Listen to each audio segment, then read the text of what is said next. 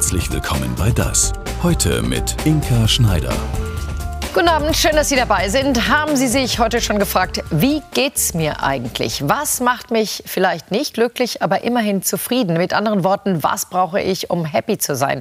Bei uns zu Gast ist heute der Soziologe Martin Schröder. Er ist einer der renommiertesten Zufriedenheitsforscher und hat jede Menge überraschende Erkenntnisse und Antworten. Professor Martin Schröder, herzlich willkommen. Schön, dass Sie da sind. Frau Schneider, ich freue mich. Auf einer Zufriedenheitsskala von 1 bis 10, wo würden Sie sich gerade einordnen? Oh, früher hätte ich fast eher so eine 7 gehabt, jetzt tendiere ich oft so auch mal in Richtung 8. Was fehlt zur 10? Ich weiß gar nicht, ob 10, natürlich ist es sehr strebenswert, weil ja. wir wollen ja alle immer total zufrieden sein. Aber nicht einfach immer 10 zu haben, ist ja gar nicht so schlecht. Weil wenn Sie morgens aufwachen würden und sagen würden, am dann, alles ist gut, hätten Sie ja gar keinen Grund mehr aufzustehen. Also eine gewisse Unzufriedenheit motiviert uns ja auch, was zu tun. Ja. Und da sind wir auch schon mal bei einem Punkt zu sagen, ich muss immer die 10 haben oder ich will immer die 10 haben. Das geht gar nicht, weil so motiviert uns auch Glück nicht, sondern wir wollen was erreichen, dann sind wir mal kurz ein bisschen höher sozusagen. Ja. Und dann flacht das aber auch wieder auf den normalen Zustand meistens ab. Das heißt, man muss gar nicht unzufrieden damit sein, dass man unzufrieden ist, sondern es hilft, um mich so ein bisschen überhaupt in die Puschen zu kriegen. Genau, also sagen wir mal, typischerweise wird das auf einer Zehner-Skala gemessen. Wie zufrieden sind Sie alles in allem mit Ihrem Leben auf einer Skala von 0 bis 10? Gut, und wenn da jetzt Ihr Base-Level, Ihr Basisniveau eine 3 ist, dann sind Sie ja schon nicht so zufrieden. Ja. Aber den meisten Menschen geht es ganz gut. Also die durchschnittliche Lebenszufriedenheit auf dieser Zehner-Skala ist zum Beispiel 7,4. Also, und die Hälfte der Menschen geben sich sogar eine 8, 9 oder 10. Mhm. Und nur jeder Sechste ist überhaupt zwischen 0 und 5. Also den meisten Deutschen geht es vielleicht ja erstaunlicherweise eigentlich ganz gut. Das heißt aber doch nicht, dass sie wirklich glücklich sind. Glück und Zufriedenheit ist nicht ganz dasselbe. Mhm. Also Glück ist emotionaler. Zufriedenheit bedeutet, wie Sie es auch gerade schon gesagt haben, was wäre perfekt und dann mache ich die Abstriche mhm. und was übrig bleibt, ist Ihre reale Zufriedenheit. Darum ist aber auch Zufriedenheit ein besseres Ziel zu verfolgen als Glück. Also Glück ist mehr so, Sie finden 10 Euro, dann sind Sie mal kurz glücklich. Dann treten Sie aber in eine Pfütze, dann sind Sie nicht mehr so glücklich. Ja.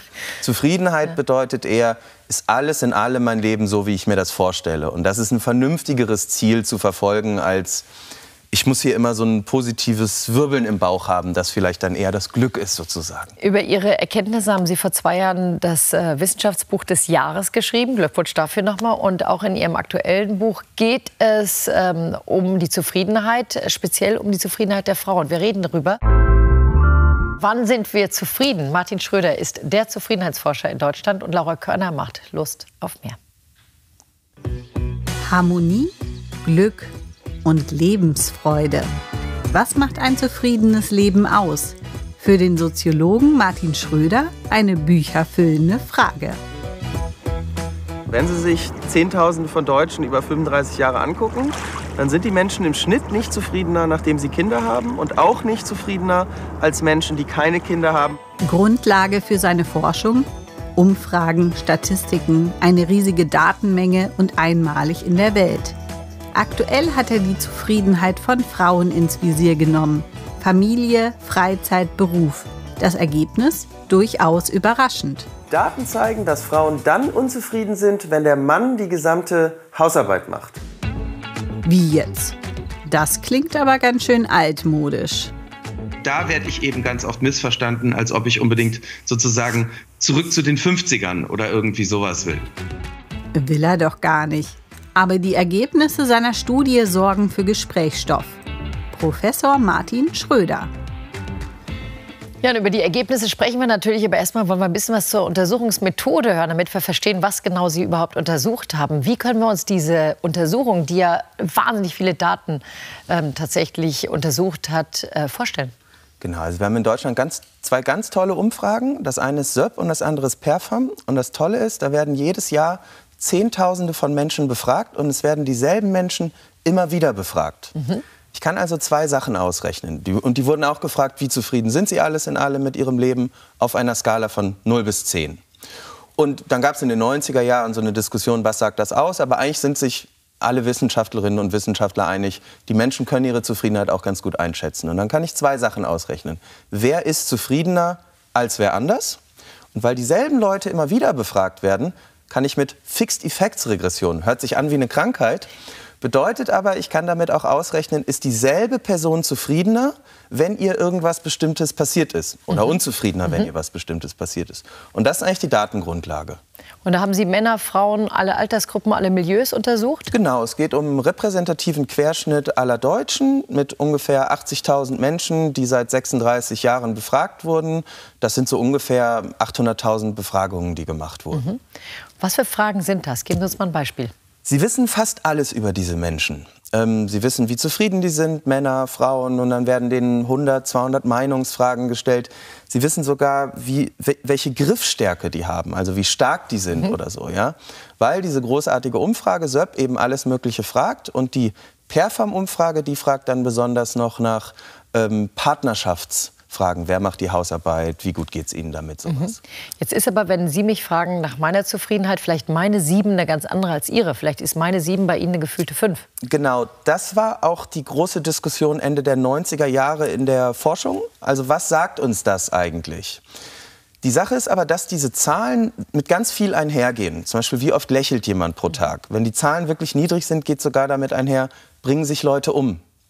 Wie Sie sich einschätzen, geht ganz stark damit einher, wie andere Sie einschätzen. So, das heißt, die wirkliche Zufriedenheit ist immer die Frage, klar, wie kommt man dahin? Mhm. Aber das geht schon mit ziemlich viel einher, was wir auch für Zufriedenheit, Glück klassischerweise halten würden. Können Sie aufgrund dieser Ergebnisse jetzt sagen, Zufriedenheits Pyramide, was ist ganz oben, was brauchen wir unbedingt, damit wir zufrieden sind und was vielleicht weniger? Genau, also Geld ist zum Beispiel ziemlich wichtig, solange Sie wenig haben. Mhm. Und die Grenze ist so zwischen 2.000 und 3.000 Euro netto. Mhm. Und als Familie brauchen Sie natürlich ein bisschen mehr als alleine.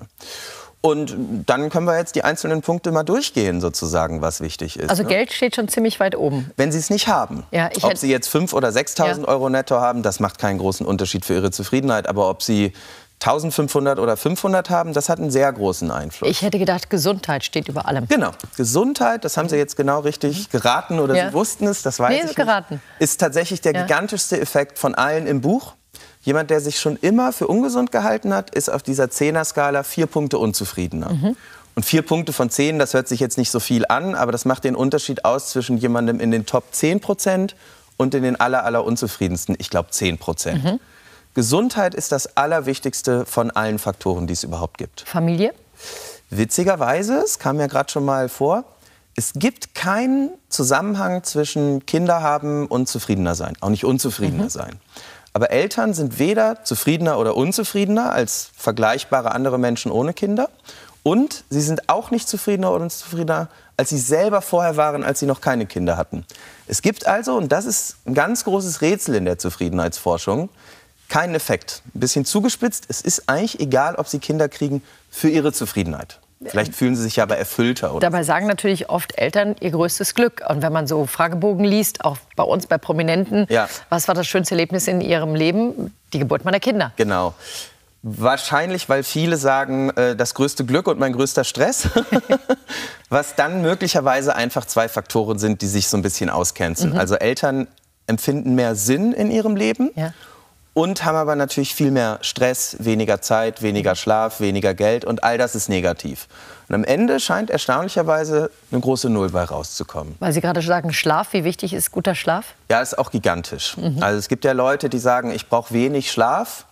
Aber der Unterschied zwischen also sieben Stunden statt acht Stunden Schlaf geht auch noch sechs, okay, und dann geht es aber wirklich rapide abwärts. Also es gibt fast niemanden, der vier Stunden schläft und halbwegs zufrieden mit seinem Leben ist. Die Arbeit oder auch ein Hobby, eine Leidenschaft, wie wichtig genau. sind die? Arbeitslos zu werden ist ein absolutes Desaster. Mhm. Für Männer doppelt so schlimm wie für Frauen. Weil also die sich mehr definieren über den Job. Ich messe es ja nur, mhm. aber das ist zumindest eine gute, also es erscheint plausibel, ne? mhm. ne? ist eine gute Möglichkeit. Frauen stehen vielleicht mehr Rollen offen sozusagen. Mhm. Genau, arbeitslos werden ist ganz, ganz schlimm. Rente oder wenn sie kündigen, weil sie selber keine Lust mehr haben, ist aber zum Beispiel gar nicht so desaströs. Mhm.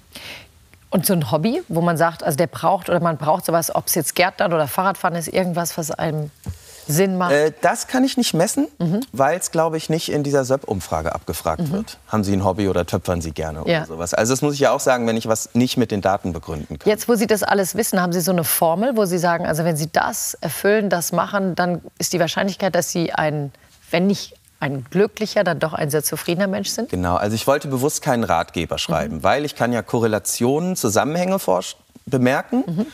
Aber wenn ich jetzt sage, Leute, die einen Balkon haben, sind zufriedener als vorher, weiß ich ja nicht, ob sie zufriedener werden, wenn sie jetzt einen Balkon haben. Mhm. Ne, um das wissenschaftlich richtig zu machen, müsste ich 50 Leuten einen Balkon verpassen, den anderen nicht und dann gucken, was passiert. Und das geht natürlich nicht. Ja. Aber es gibt so ein paar Sachen, ähm, wo es ganz gut erforscht ist. Und das ist zum Beispiel, es gibt kaum Menschen, die einsam, aber zufrieden sind. Und dann wurden Menschen gefragt, äh, gebeten, probieren Sie zufriedener zu werden. Und die sollten gleichzeitig auf einen Zettel aufschreiben, was, wie sie das mhm. probieren.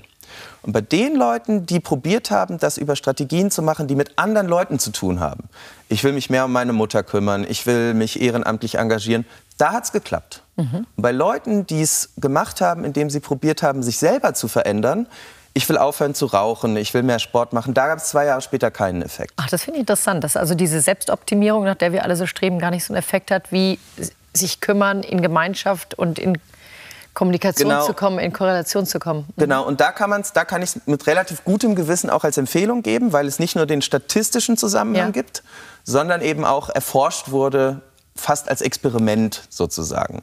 Also sozialer Kontakt tut fast allen gut, aber auch interessant, nicht, also mehr als fünf enge Freunde braucht man nicht. Sie merken, mit jedem zusätzlichen Freund steigt die Zufriedenheit. Und ab fünf ist es dann egal. Ja, dann steigt ja schon wieder der Stress, weil man nicht alle unter einen Hut genau, kriegt ne? und also, nicht für alle Zeit hat und dann schlechtes Gewissen genau, vielleicht einplagt. Einen Anthropologen, mhm. ich glaube Christopher Dunbar, und der sagt, bei mehr als fünf haben sie einfach keine Zeit mehr für mehr Leute. Mhm. Ja, schon mal sehr spannend. Also nicht nur zufrieden, sondern glücklich. Happiness. Darum dreht sich derzeit auch alles im Deutschen Hygienemuseum. Weiß nicht, ob Sie schon da waren. Eine interessante Ausstellung, wo sich Jan Rimpel auf die Spurensuche nach dem Glück gemacht hat. Wir tanzen ab, weil Tanzen glücklich und zufrieden macht. Wir tanzen nicht irgendwo, sondern hier in diesem kleinen Raum. Der kleine Raum ist der Beginn einer Ausstellung in diesem großen Haus. Im Deutschen Hygienemuseum in Dresden läuft die Ausstellung Hello Happiness, die was mit den Besuchern macht.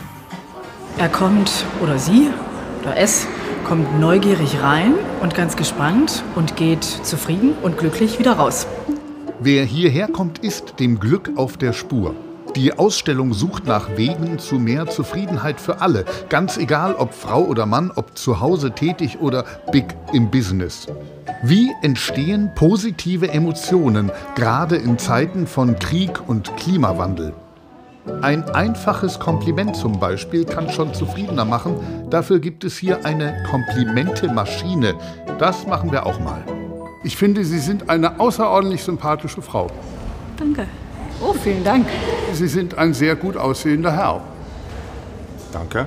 Du bist ein sehr sympathisches Mädchen. Dankeschön. Was macht so ein Kompliment mit dir? Mm, ich finde, es stärkt einen mit dem Selbstbewusstsein sehr und. Ja, man hört es ja selten, also man freut sich besonders. Ich habe gerade gespürt, dass ich zu lächeln beginne. Das schmeichelt das, das Seele. Ich denke, es hilft einem auch im Alltag, wenn man vielleicht schlecht gelaunt war oder so und dann so ein schönes Kompliment bekommt und dann direkt so vielleicht einfach besser gelaunt ist. Etwas gemeinsam machen. Gemeinschaft macht zufrieden und vieles geht sowieso nur oder viel besser Hand in Hand. Der Mensch braucht andere Menschen, um wirklich zufrieden zu sein. Voraussetzung fürs Glück, lernen wir in der Ausstellung, sind aber auch Toleranz und Freiheit, inklusive der Freiheit, für die Freiheit eintreten zu dürfen, zu protestieren. Protest kann Hoffnung bringen und kann auch Menschen sich empowered fühlen lassen. Und das ist natürlich ein wichtiger Bestandteil, um auch Zufriedenheit zu erfahren. Es gibt auch eine richtige Glücksindustrie. Ob die Produkte wirklich helfen? Naja. Anderes macht nachweislich zufriedener. Wandern zum Beispiel, sich im Grünen zu bewegen. Dass Schadenfreude die schönste Freude ist und also auch irgendwie Zufriedenheit auslöst, klar. Und wir lernen Methoden zum Glücklicherwerden kennen, wie Lach-Yoga. bewegt den Arm wie einen Scheibenwischer hin und her und lacht in dem Tempo, wie ihr euren Arm bewegt. So. Ha, ha, ha. Diese Ausstellung hier, was machen Sie denn, wenn Sie rauskommen, anders als vorher? Ich denke noch einmal bewusster darüber nach. Schöne Rituale entwickeln. Vielleicht ein bisschen bewusster Dinge sehen, die eben Spaß machen, die vielleicht auch bei anderen Leuten Freude hervorrufen. Ein bisschen glücklicher, um Sachen zu sein und mehr Sachen zu schätzen. Und was ist das jetzt noch? Hier lernen wir, wie wichtig es fürs Zufriedensein ist, auch einfach mal einfach zu relaxen. Also dann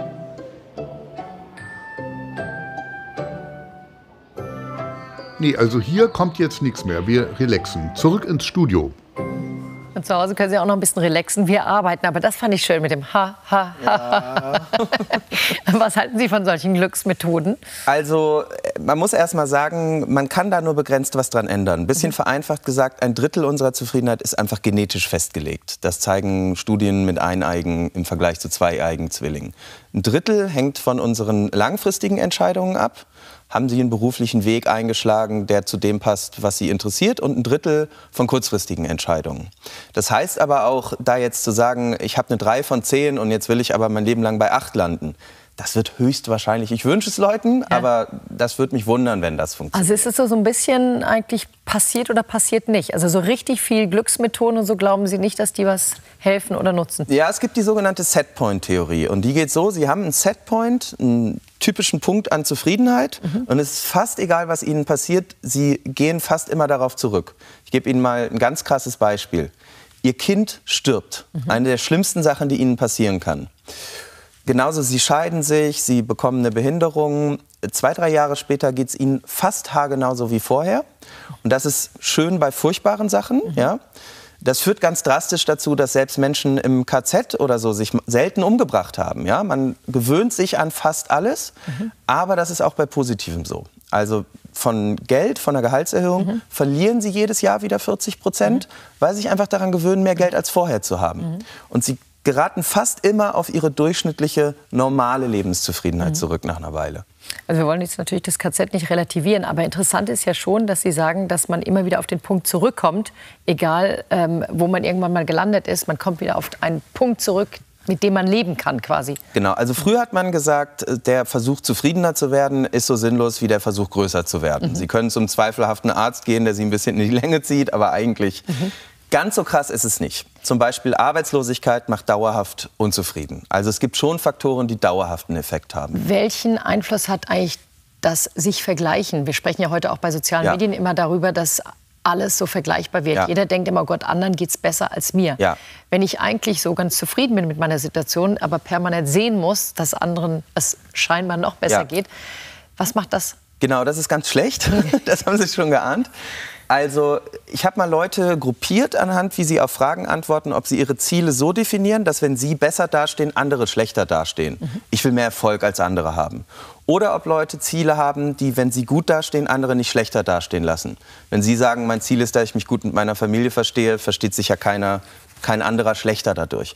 Und die Leute sind zufriedener, die Ziele haben, die nicht Konkurrenz mit anderen bedeuten sondern die sie sich selber stecken, ohne Konkurrent zu sein. Ja, man, mhm. sagt, man wird dazu wissenschaftlich sagen, die keine Nullsummenspiele spielen. Mhm. Die keine Spiele sind, die, wenn ich sie gewinne, sie verlieren müssen.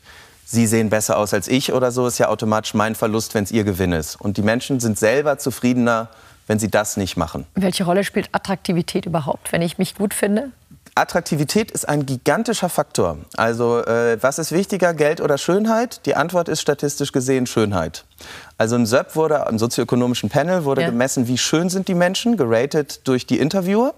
Und der Effekt, sehr, sehr schön zu sein, der ist wirklich gigantisch groß, mehr als sie mit Geld rausholen können. War das eigentlich früher anders? Waren viele von den Punkten, die Sie heute, Sie haben ja vorhin erzählt, ja. dass Sie sehr lange Zeiträume untersuchen, waren früher die Parameter für Zufriedenheit andere als heute? Fast gar nicht. Also ich habe die Daten einmal in die erste Hälfte der Daten vor 2004 und in die zweite Hälfte der Daten nach 2004 aufgeteilt und getrennt ausgewertet und die Ergebnisse sind fast immer dieselben, egal ob ich jetzt oder früher gucke. Trotzdem sagen wir immer, früher war alles besser oder haben das Gefühl, ja. es war früher besser. Damit vergleichen wir uns ja mit einer Zeit, die früher eben vergangen ist, nicht mehr wiederholbar ist. Genau. Stimmt dieser Eindruck? Nee, und der heißt in der Psychologie Rosy View Bias. Also die haben Leute in einen Vergnügungspark gesteckt und haben gesagt, wie gefällt es ihnen denn gerade? Und die Leute sagen, ja, so mittel, aber ich habe mir hier irgendwie ein bisschen Fanta auf die Hose gekleckert und die Kinder schreien und naja, aber ist ganz okay. Und zwei Wochen später, wenn man dieselben Leute nach demselben Tag fragt, sagen die, das war einer der schönsten Tage meines Lebens.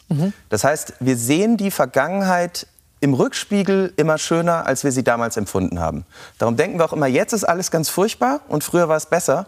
Stimmt aber nicht. Ja, weil im Moment ist das Krisenempfinden ja enorm. Also wir haben nicht nur eine wirtschaftliche Krise und damit vielleicht auch eine Existenzangst, eine Unsicherheit. Wir haben die Ukraine-Krise, wir haben die Klimakrise, wir haben gerade erst die Corona-Krise hinter uns gebracht. Das heißt, so krisengeschüttelt waren wir ja selten. Und das dachten wir wahrscheinlich schon immer.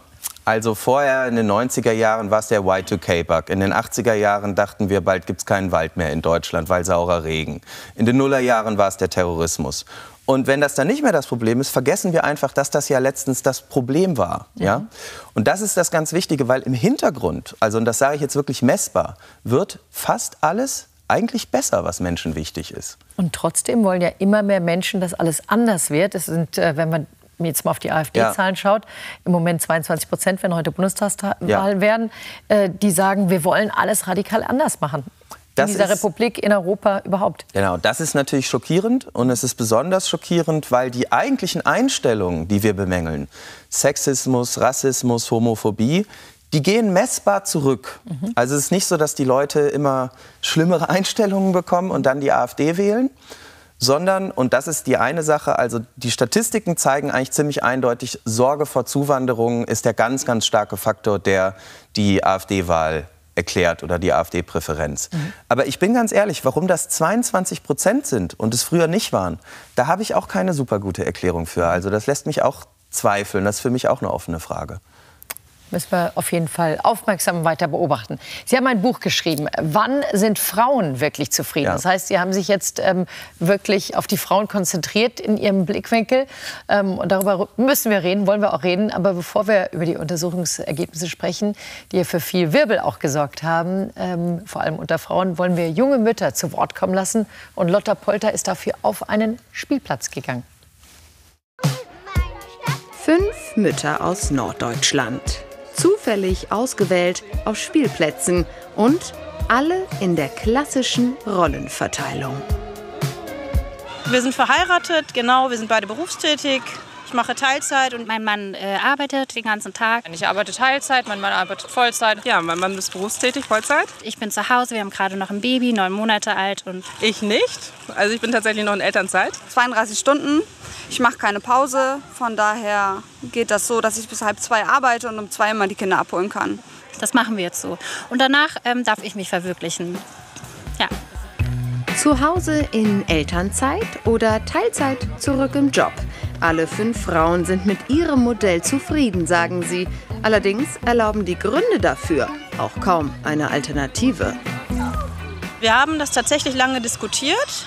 Dagegen gesprochen hat dieses Gefühl, ins alte Rollenmodell wieder reingedrückt zu werden. Das wollte ich nicht. Ne, der Mann verdient besser. Mein Mann arbeitet sehr gerne und sehr viel und äh, kann auch schlecht weniger arbeiten. Ich bleibe zu Hause bei den Kindern. Ich bin aber keine Putzfrau, ich bin keine Köchin. Ich mache das für die Kinder. Für die Kinder gebe ich wirklich immer alles.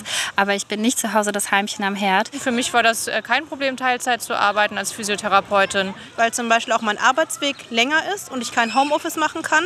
Es ist heutzutage noch, dass der Mann mehr verdient. Und zwar ganze 18 Prozent mehr als die Frau. Warum? Weil Frauen häufig einen geringeren Stundenlohn haben, weil sie seltener arbeiten gehen und das häufig in Teilzeit. Ein Problem für den Arbeitsminister und den Finanzminister. Der eine will die Schuldenbremse einhalten, der andere braucht dringend Fachkräfte. Deshalb stehen Modelle, die Familien finanziell unterstützen, wie die beitragsfreie Familienversicherung, das Elterngeld oder das Ehegattensplitting in der jetzigen Form zur Diskussion. Alles, um mehr Mütter schneller zurück in den Arbeitsmarkt zu holen. Ich denke, dass es auf jeden Fall wichtig ist, Familien finanziell zu unterstützen. Denn was man ganz klar sehen muss, ist einfach, ähm, dass die Zeit, wo man eine Familie hat, wo die Kinder klein sind, das ist die Phase im Leben, wo man eigentlich am wenigsten arbeiten kann, wenn man Zeit für die Familie haben möchte, aber am meisten Geld braucht. Ja, müssen Familien sich einschränken? Also Eigentlich nicht, oder? Eigentlich sollte man doch sagen, ja, yeah, Familie, wir unterstützen sie auf jeden Fall. Da finde ich es schon richtig, dass man halt genau guckt, wer braucht eine Förderung und wer kommt auch so ganz gut über die Runden, sodass man halt gesellschaftlich mehr einen Ausgleich auch schafft. Es ist schon alles teuer. Von daher finde ich, dass der Staat da auch auf die Mütter oder auf die Eltern zugehen sollte, die gerade nicht so viel haben. Zuerst sollte mal auch geguckt werden, okay, wer kümmert sich denn in den meisten Fällen denn bei Familie? Wer kümmert sich um die Familie? Und das sind immer noch die Frauen. Und Familien müssen unterstützt werden. Und wenn Familien unterstützt werden, werden auch gleichzeitig Frauen unterstützt. Die Bedingungen müssen passen, dass überhaupt Menschen bereit sind, Kinder zu kriegen. Wir wissen, dass es überall Fachkräftemangel gibt. Wir wissen, ähm, dass unser Subsidiaritätsprinzip äh, in, in der Auflösung begriffen ist, weil es nicht mehr haltbar ist, weil es zu wenig Jüngere gibt. Und ähm, deswegen ist es wichtig, dass äh, Kinder aufwachsen hier, dass Kinder bekommen werden. Und ähm, dafür muss man natürlich was tun als Staat. Zum Beispiel Kita-Plätze schaffen. Denn davon fehlen allein in Norddeutschland 74.000. Ein weiterer Grund, warum viele Mütter nicht so arbeiten können, wie es der Arbeitsminister und sie selbst gern hätten. Ja, und nur Mütter, keine Väter auf unserem Spielplatz. Wenn Sie sich jetzt wundern, das entspricht ziemlich äh, genau dem Bild. 75 Prozent der Teilzeitarbeitenden sind Mütter. Und die, die wir getroffen haben jetzt, muss man ja sagen, waren gar nicht unglücklich mit dem Teilzeitarbeiten ja. und sich um Kinder kümmern. Aber sie vermissen Unterstützung vom Staat. Überrascht Sie das oder trifft sich das so mit dem, was Sie herausgefunden haben? Nein, das äh, ist überhaupt nicht überraschend. Und da könnte man natürlich und sollte man auch ansetzen. Also warum gibt es nicht eine unfassbar gute Kinderbetreuung in Deutschland? Und warum gibt es zum Beispiel nicht Familiensplitting bei der Steuer, statt einfach nur Ehegattensplitting, was belohnen würde, dass man Kinder hat, statt dass es einfach nur belohnt, dass man einfach heiratet Mhm. sozusagen. Sie haben in Ihrer Untersuchung sich jetzt wirklich auf die Frauen konzentriert und dann natürlich auch einige ähm, befragt, die wahrscheinlich ähnliche Antworten gegeben haben. Warum sind Frauen wirklich zufrieden? Ich muss sagen, als ich das wirklich gelesen habe, habe ich gefragt, mich, warum fragt ihr jetzt wirklich zufrieden? Das Ja. klingt so wie, die sind doch nie zufrieden. Ähm, zum einen, warum äh, dieses, dieser Titel und zum anderen, ähm, Sie sind ja sehr angeeckt. Warum sind Sie eigentlich Genau. damit so angeeckt? Ich fand den Titel blöd Ja. von dem neuen Buch sozusagen. Ähm, aber warum bin ich so angeeckt? Ähm, also es ist erstmal merkwürdig. Für viele scheint es eine ganz, ganz schlimme Nachricht zu sein, dass es Frauen gut geht. Und das ist ja erstmal komisch. Das ist Ihre Erkenntnis, das haben wir noch gar nicht besprochen. Ja. Aber das ist die Erkenntnis oder die Auswertung Ihrer Untersuchung. Also Frauen haben genauso wie Männer diese durchschnittliche Lebenszufriedenheit von 7,4. Aber nicht nur das. Wenn man jetzt, ich glaube, ich habe 36 unterschiedliche Variablen ausgewertet. Wenn man sowas fragt wie, fühlen Sie sich in Ihrem Beruf benachteiligt? Können Sie in Ihrer Partnerschaft machen, was Sie wollen? Dann findet man auch bei diesen ganzen einzelnen Sachen kaum etwas. Man findet zum Beispiel, was Frauen sind mit der Hausarbeit etwas weniger zufrieden und sie sind speziell mit ihrem Einkommen weniger zufrieden, aber mit ihrem Lebensstandard zum Beispiel sogar zufriedener als Männer. Das heißt, ähm, es geht messbar Frauen gut und wenn Sie sie fragen, warum leben sie denn so, wie sie leben, dann ist statistisch der größte Prädiktor das, was sie selber wollen. Mhm. Das heißt, Sie wollen oft zu Hause bleiben, Sie wollen oft Teilzeit arbeiten oder was meinen Sie genau? Genau. Und jetzt habe ich da, glaube ich, oft so Ärger bekommen, weil ich muss ja die Daten auswerten, Ja. wie sie sind. Ich kann ja nicht sagen, ah, das ist jetzt, das finden viele komisch, das halte ich jetzt geheim. Aber das wird, glaube ich, oft verstanden als, jetzt hat der Martin Schröder gesagt, so soll das auch so sein. Aber ich werte das erstmal aus und sage erstmal nur, Moment mal, anstatt dass man es mit Diskriminierung erklären kann, kann man es auch einfach mit dem erklären, was die Frauen tatsächlich möchten. Und das ist quasi eine zweite, eine mögliche Erklärung. Also ich sage, wir können uns das Glas auch mal von der anderen Seite angucken, sozusagen. Sie schreiben aber auch, und das fand ich ganz interessant, hier auf dem letzten, auf dem Klappen, Frauen geht es viel besser, als wir wahrhaben möchten. Mhm. Was heißt das denn? Ja. Es gibt so eine Art, ich nenne das illiberalen Feminismus. Illiberalen Feminismus. müssen Sie kompliziert, erklären. ne? Ist zu kompliziert. Also nicht liberaler Feminismus. Also wo man sagt, man lässt die Leute nicht so leben, wie sie wollen, sondern man sagt, das ist aber nicht richtig so. Und das ist was, was ich immer wieder gemerkt habe, wenn man auswertet, Frauen selber sagen, die sind ganz zufrieden, dass die Antwort ist, das kann aber gar nicht sein, dass die zufrieden sind. Die müssen unzufrieden sein, weil wir wissen ganz genau, wie die arbeiten sollen. Und das ist dann ganz oft, das muss Vollzeit sein und so weiter. Und jetzt kann ich ja nicht sagen, das ist falsch. Ich weiß ja auch nicht besser. Aber es ist halt auf jeden Fall illiberal, weil man eben nicht sagt, na, dann sollen die Leute selber mal überlegen, mit welchem Leben sie zufrieden sind. Und solange sie damit zufrieden sind, ist es okay. Sondern man sagt, wir haben eine bestimmte Vorstellung, wie ihr leben solltet. Ist, kann es sein, dass es vielleicht einfach eine Diskrepanz gibt zwischen dem systemischen und dem persönlichen Empfinden, auch im Feminismus? Also systemisch ist Ja. es natürlich nicht in Ordnung, dass Frauen weniger verdienen. Ja. Es ist nicht in Ordnung, dass Frauen, die sich jetzt um die Kinder kümmern Ja. und später auch um ihre kranken Eltern, denn auch die Pflege übernehmen ja meistens die Frauen, dass sie, wenn dann der Mann sie verlässt, sie leider in der Altersarmut landen, weil sie nicht für den Erwerb Ja.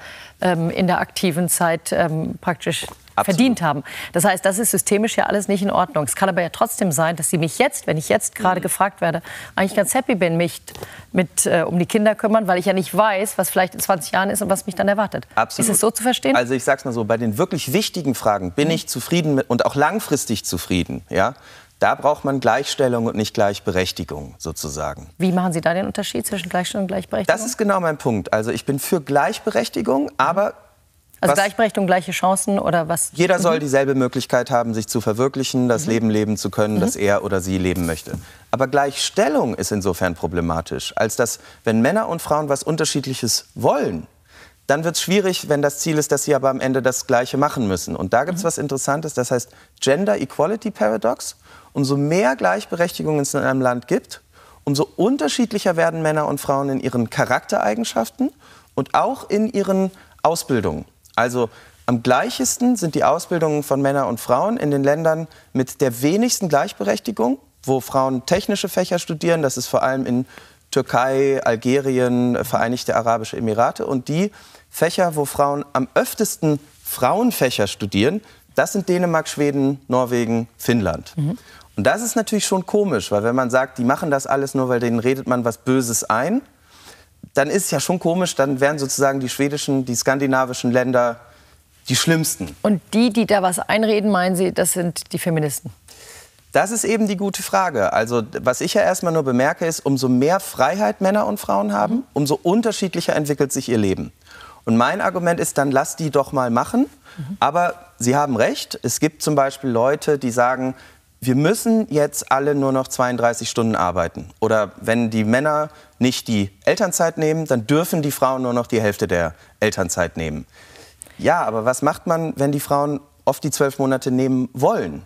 Würde ich sagen, dann gibt nach die Elternzeit einfach länger sozusagen. Oder was macht man, wenn die Männer die zwölf Monate nehmen sollen, weil sie einfach sich beteiligen sollen? Interessant ist ja, dass bei den Paaren ähm, fast alle Paare vor der Ehe sagen, wir teilen das Genau. natürlich auf. Ja. Natürlich kümmerst nicht nur du dich um die Kinder und um den Haushalt. Ja. Natürlich machen wir das zusammen, aber die Realität sieht nachher eben anders aus. Also die meiste Care-Arbeit machen die Frauen, es bleibt an den Frauen hängen, die verantwortlich sich auch fühlen, während die Männer zwar sonntags Brötchen holen, aber sich dann oft während der Woche nicht so wirklich engagieren. Genau. Und ich weiß, das ist eine kontroverse Sicht, die ich dazu habe. Aber mein Argument wäre, wenn die Leute selber sagen, das ist das, was sie wollen, dann kann man schon darüber reden, dass man besonders Mütter trotzdem entlasten müsste. Übrigens vor allem natürlich Alleinerziehende. Absolut. Aber ich finde es schon schwierig zu sagen, ihr wollt das zwar, wir wissen aber besser, welches Leben richtig für euch ist, sozusagen. Haben Sie sich eigentlich gewundert, dass Sie so Gegenwind bekommen haben für Ihr Buch, für Ihre Thesen? Und würden Sie es heute noch mal so schreiben? Also ich bin erstmal mit populärwissenschaftlichen Büchern durch, weil was ich ein bisschen schade fand, es gibt Leute, die sagen, wir finden das doof, obwohl wir uns gar nicht so richtig mit dem wirklichen Argument beschäftigt haben. Und es gibt auch Leute, die stimmen einem einfach zu, weil die wollten das schon immer mal hören. Aber dass jemand sagt, Mensch, da werden 190 Studien verarbeitet und die neuere Literatur und dann habe ich vielleicht danach eine andere Meinung als vorher. Das ist zumindest nicht das, was so öffentlich die lauten Stimmen sind. Und das finde ich ein bisschen schade, weil naiverweise schreibt man ja als Wissenschaftler dafür ein Buch, dass man denkt, Mensch, ich habe hier neue Daten, neue Fakten, neue Mhm. Studien und vielleicht wisst ihr es dann besser als vorher oder seht es anders als vorher. Aber die äh, Erhebung der Daten ist das eine und natürlich die Interpretation das andere. Ja. Weshalb vielleicht da auch äh, jetzt äh, das Gefühl ist, äh, dass Sie da eine These vertreten, die natürlich nicht von allen so gesehen werden Klar, und kann. das ist ja auch gut so. Genau, ist auf jeden Fall ein guter Impuls. Gleichstellung und Gleichberechtigung äh, sind nicht selbstverständlich, haben wir auch gerade darüber gesprochen. Und auch deshalb gibt es offizielle Gleichstellungsbeauftragte. Und die erste bundesweit kam 1979 in Hamburg ins Amt. Äh, wie war die Situation damals eigentlich für die Frauen und was ist seitdem passiert? Diane Zweng erinnert. Die Hausfrauenehe war ganz normal. Der Mann durfte seiner Frau verbieten, berufstätig zu sein. Erst seit 1977 dürfen Ehefrauen selbst über ihr Leben bestimmen. Im Dezember 1979 setzt der Hamburger Senat die erste Gleichstellungsbeauftragte Deutschlands ein, Eva Rühmkorff. Sie soll dafür sorgen, dass Frauen im öffentlichen Dienst nicht länger benachteiligt werden. Sie nutzt ihren Einfluss im Senat, um auch die soziale Situation der Bürgerinnen zu verbessern. 1985 hat sie schon eine Menge erreicht. Zum Beispiel ist Hamburg das Bundesland, das vier Frauenhäuser finanziell absichert, das einzige Bundesland nach wie vor. Nach wie vor ist Hamburg das erste Bundesland gewesen, das anerkannt hat, dass im öffentlichen Dienst aktive Maßnahmen notwendig sind, um Frauen bei gleicher Qualifikation, die sie haben, gleiche Berufschancen zu geben, also durch einen Frauenförderplan. Ich denke, ich lasse es da mal. Wir mhm. waren die Ersten, wo mhm. Frauen in der Polizei gleichberechtigt mhm. beschäftigt wurden. Also es gibt ein ganzes mhm. Spektrum. Arbeit und Kinderbetreuung unter einen Hut zu bekommen, ist für Frauen damals wie heute schwer. Besonders für Alleinerziehende mit Kleinkindern. Sie sind in einem Teufelskreis gefangen. Ohne Arbeit keinen Kitaplatz, ohne Kitaplatz keine Arbeit. In den 80ern sind die Wartelisten der Kindergärten extrem lang. Das heißt Endstation Sozialamt, Leben in Armut. Daran kann auch die Gleichstellungsbeauftragte nichts ändern. 1986 tritt Antonia Wigbers in Niedersachsen ihr Amt an als Landesfrauenbeauftragte. Sie wirbt für Chancengleichheit auch in traditionellen Männerberufen. Lehrstellen sind damals knapp.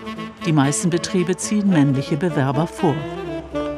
Als Begründung für die Ablehnung von Frauen wird aus der Sicht der Betriebe vielfach das sogenannte Schwangerschaftsrisiko genannt.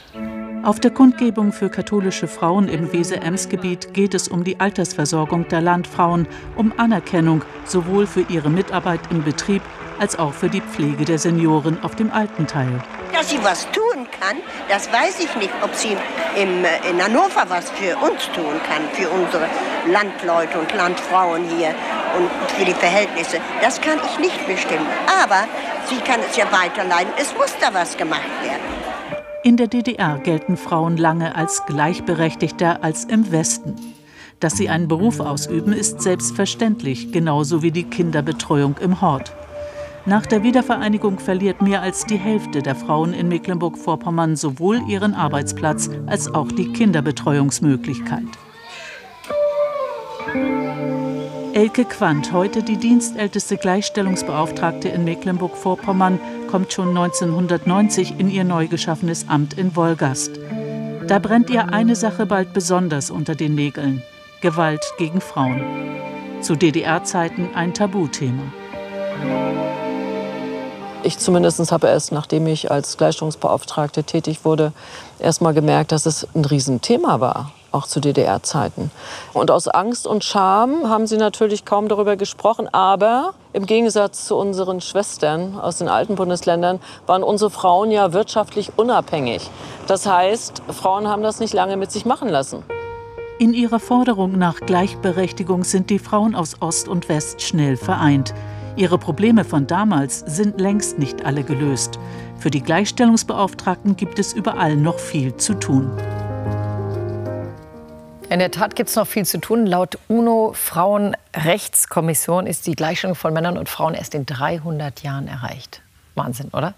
Wie gesagt, wenn man als Gleichstellungsziel hat, die müssen dasselbe machen. Mhm dann habe ich Zweifel, dass jemals es keine Unterschiede zwischen Männern und Frauen gibt, weil die Interessen sich ja unterscheiden auch. Sie haben ja schon gesagt, dass Männer und Frauen ähnlich zufrieden sind. Ja. Was macht die Männer eigentlich zufrieden? Wir haben jetzt so viel über Frauen geredet. Genau. Also erstmal muss man sagen, es ist ja nicht so, dass Männer jetzt bitte die nächste Opfergruppe sein sollen, ja. sondern die haben ja dieselbe Lebenszufriedenheit von 7,4 wie die Frauen. Es gibt einen komischen Zusammenhang. Mütter werden nicht zufriedener, wenn sie länger arbeiten. Väter aber schon. Und bei kinderlosen Männern und Frauen ist der Unterschied gar nicht so groß. Und Frauen werden auch zufriedener, wenn ihre Männer länger arbeiten. Ja, merkwürdigerweise schon. Genau. Finde ich gar nicht so merkwürdig. Das heißt ja auch Happy Wife, Happy Life. Wie wichtig ist für die Männer, dass die Frauen zufrieden sind, ihre Frauen zufrieden sind? Also für beide Männer und Frauen überträgt sich ungefähr 30 Prozent der Zufriedenheit ihres Partners auf ihre eigene. Das heißt, machen Sie Ihren Partner, Ihre Partnerin zufrieden und Sie haben auch selber was davon. Aber was weiß, glaube ich, jeder, der schon eine längere Ehe hat. Sie haben mich auf jeden Fall sehr zufrieden, um nicht Gerne. zu sagen glücklich gemacht heute, Herr Schröder. Vielen Dank, war Ja. sehr spannend. Und morgen kommt Tukba Tekal, ehemalige Profifußballspielerin, Menschenrechtsaktivistin und Sozialunternehmerin. Freuen wir uns sehr darauf, auch mit ihr über vielleicht auch dieses Thema zu sprechen. Für Sie geht es jetzt weiter mit Ihrem Landesprogramm. Tschüss, danke Ihnen. Ja, das war das.